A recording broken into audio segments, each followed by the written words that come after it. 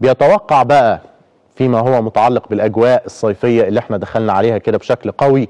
خبراء الأرصاد الجوية بيتوقعوا توالي درجات الحرارة آه ارتفاعها على كافة أنحاء الجمهورية بحيث يكون الطقس شديد الحرارة خلال ساعات النهار لطيف ليلا بتقل الرؤية في الشوائب العالقة نهارا على معظم الطرق رياح أغلبها شمالية شرقية خفيفة إلى معتدلة.